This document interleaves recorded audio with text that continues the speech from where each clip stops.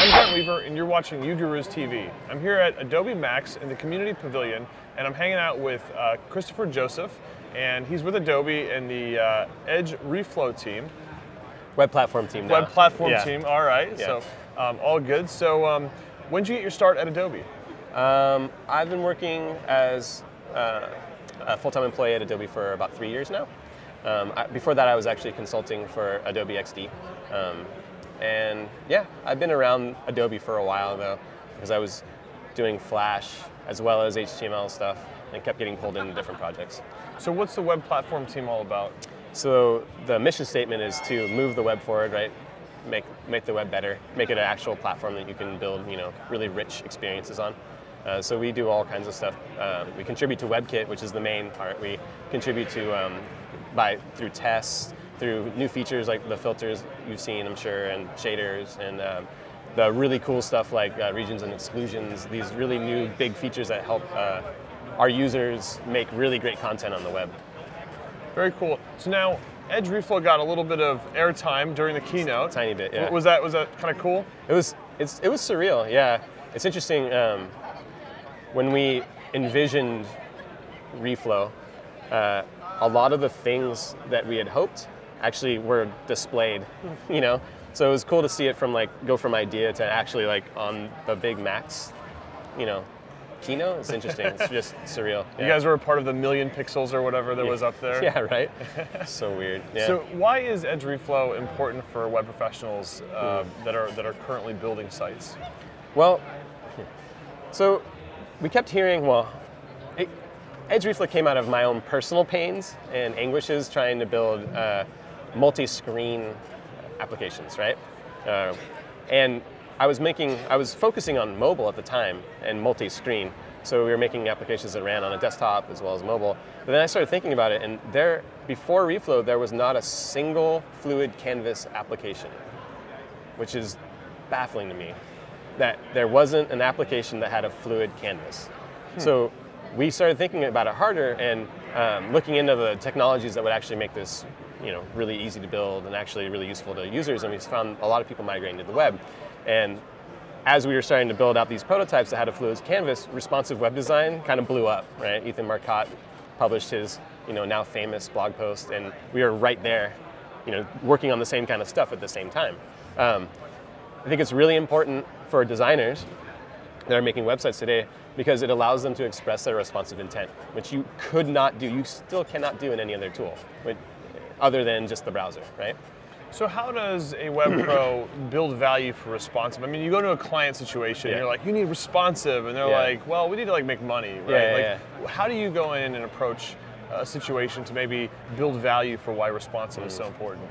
Well, so this, that's a, that's a hard that's a hard question to answer because you know all the approaches that get your content to your user are legitimate, right? So if you're really focused on the user, you focus on the best way to get the content to them, like your the business's content to their user.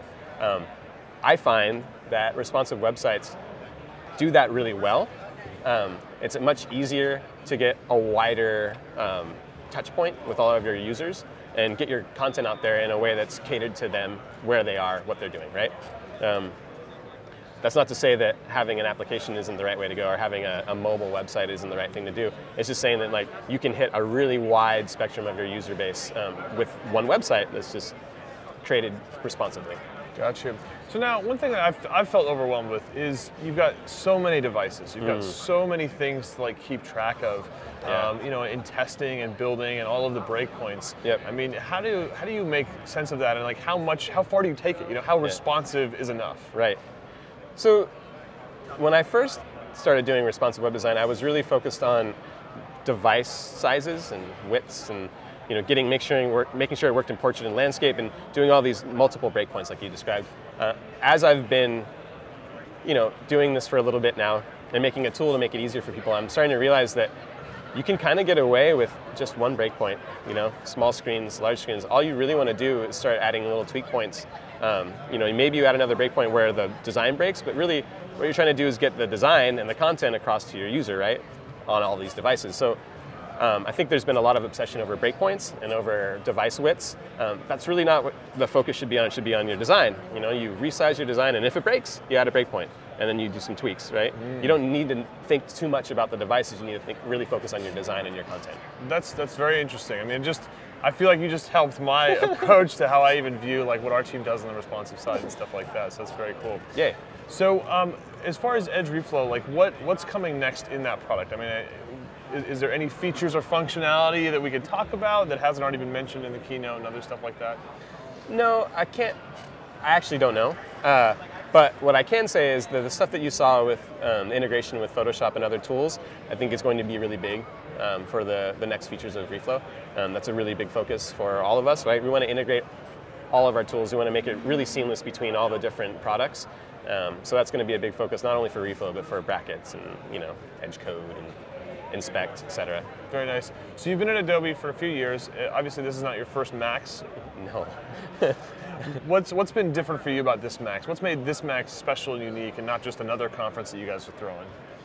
I've this one has been really special to me because we've gotten a lot back to our roots. Um, I was honestly depressed a couple years ago when it was really developer focused because a there weren't the kind of people I was used to seeing. You know, I've been coming for many many years, and I'm a designer by training and a developer by by. I get paid to do development, right? By force. By force. By yeah, you can code, do that. Uh, so I was actually really sad. I used to come to uh, Max to get inspired and talk to people that do amazing things, and you know, mainly in the design field. Um, one of the big disappointments was that there. I was sad that it was becoming like all the other like big Java One conferences. There's you know there was less women, there was less people, right? I mean- see what this is all about. no, no, no, no. I just like to see a, a, a greater, um, a greater depth of our actual users that are actually finding um, it easier to use our tools to express themselves, right? Um, and that's not just coding; it's making amazing designs, amazing experiences. And this Max has been really focused on that. It's been making me really, really happy. Has there been any presenter or session or part of the keynote or sneak that has stood out in your mind as being like, that's super inspiring? Like, like that moment where you get maybe a little bit of that, that chill or that like feeling where you're like, wow, I'm now motivated to go and you know crush it for the rest of the year. Yeah. Anything that has to do with Behance blows my mind. Uh, Typekit and Behance, those guys are class acts. They know what they're doing really well, and everything that they put out is really, really high quality.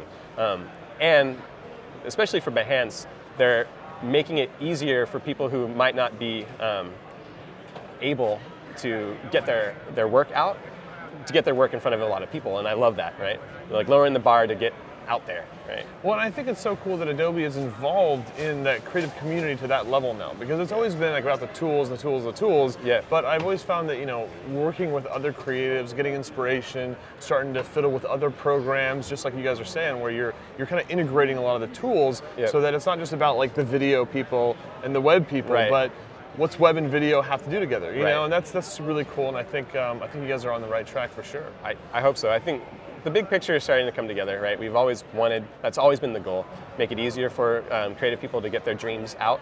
And then now it's actually going further and being like, well, people need to collaborate, people need to get inspired from each other, going across products, going across, you know, user bases, right? Very. Cross pollination. Well, we definitely appreciate you taking some time to chat with us today, Kristofer, and I wish you all the best and enjoy the rest of the conference. We'll do. Thanks. Thanks for All having me. right, thanks.